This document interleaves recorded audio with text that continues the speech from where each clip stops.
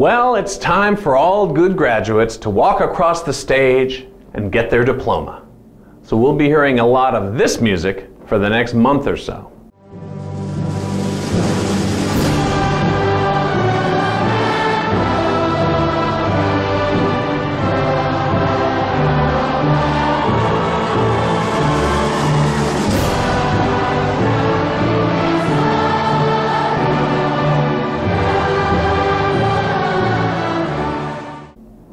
Pomp and Circumstance, the title comes from a line in Shakespeare's Othello, was written by composer Sir Edward Elgar in 1901.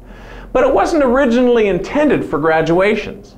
The march was composed for the coronation of King Edward VII.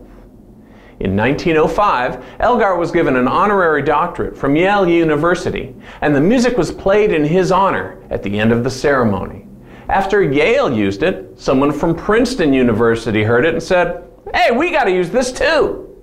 Then Columbia University used it. Then the University of Chicago. And before you know it, it just became the thing that you had to graduate to. Since then, Pomp and Circumstance has become the standard graduation music throughout America. So did Sir Edward Elgar compose anything else? Well, yes, he did over a hundred works for orchestra, chamber music, church music, and songs. He was a self-taught composer who lived in England from 1857 to 1934.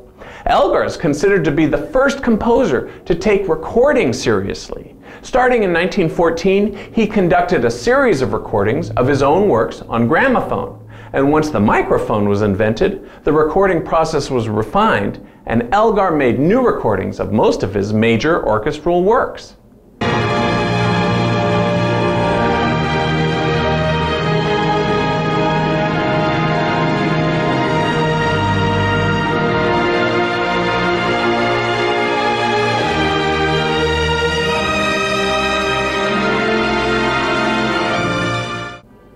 Yet he will be best known for his March Number One, played annually at almost every high school and college graduation in America.